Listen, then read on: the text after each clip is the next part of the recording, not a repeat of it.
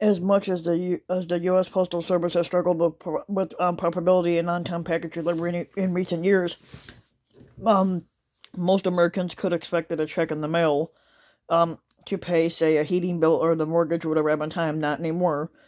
Um, basically, somebody said they got a bill back, um, and that and that the mortgage payment about their mortgage payment basically, and it said it was late last month. But the Detroit resident Lucy Johnson complained to NPR and she said she said she knew she mailed it ten days in advance, and that they still charged her a late fee.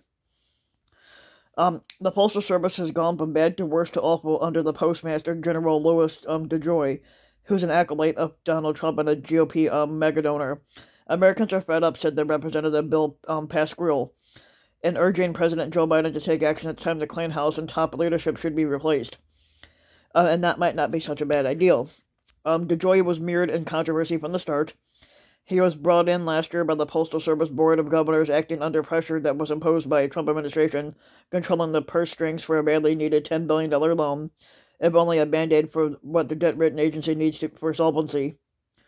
Um, DeJoy immediately launched a series of cost cutting strategies without any impact analysts or much guidance for field office, offices, but utter confusion followed, resulting in a significant drop in the quality and timelessness and the timeliness of the mail delivery, an Inspector General later film, But under court under court order and immense public pressure, the Postal Service managed, to its credit, to process record numbers of mail-in ballots during the November election. But after that, after that, however, mail delivery went off went off a cliff. A busier than usual holiday season loomed. The workforce was exhausted and depleted by the coronavirus exposures and infections, and backlogs mounted.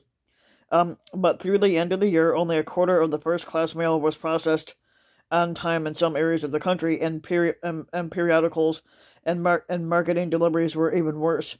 Nationally, only 64% of the first class mail was delivered on time around Christmas, but letters were, talk- were, ta- were taking weeks to cross the country. Americans received late notices and penalties for absent bill payments, and they had to work and they had to fork, fork over the stop payment fees for missing checks coupons arrived after window of after window of use closed. Um, and nonprofit fundraising pleas showed up after the tax after the tax year ended, according to a New York Times analyst. It's been generally awful, said Dave Lewis, who's president of a group called Snail Works, and it tracks mail delivery for business and nonprofit groups. And this is what he said at the Postal Service. They're slowly digging out. They, they're better than they were in December, but still, in a lot of areas, delivery is still badly badly delayed but critics complained that the Postal Service was prioritizing package delivery over over mail to to fend off FedEx and UPS competition, but that but that's misguided if true. Frustrated consumers with the first class mail will always have other choices. I'm probably going to start paying bills over the phone, possibly paying them online. This is what Anna Benson of Plain Township, Ohio said. Um, um, she says she's going to try to use the post office as little as possible. The result is that is that the centuries of affection that most Americans have had for the U.S. Postal Service is tarnishing quickly, if not irrepar- irreparably.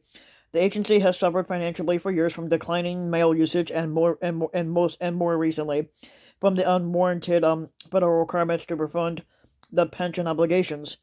Um, the House of Representatives has passed legislation to repeal the mandate to prepay retirement benefits, and the Senate must do the same. In the meantime, the, politicize, the politicization and poor leadership of the Postal Service has grown intolerable. Beyond the hiring of DeJoy, the Board of Governors is led by a former Republican National Committee chairman that was tapped by Trump, and Biden and Biden can fix this. while the while the um, while the president can't le- can't legally replace Joy, he can fire all board members that are appointed of a president who who uh, maligned the um the postal service by calling it a joke.